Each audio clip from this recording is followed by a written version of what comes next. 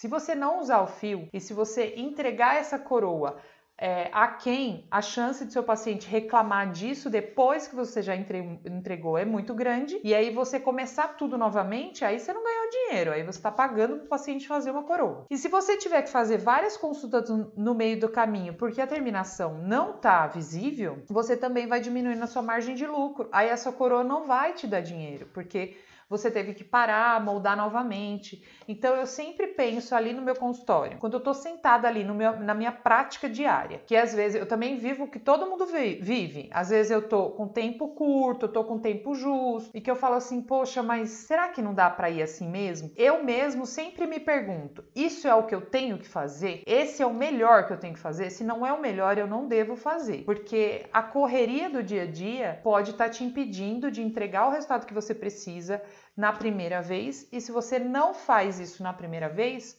você diminui a sua margem de lucro, aí não vai ganhar o que você poderia, e isso é, uma, uma é um ciclo que frustra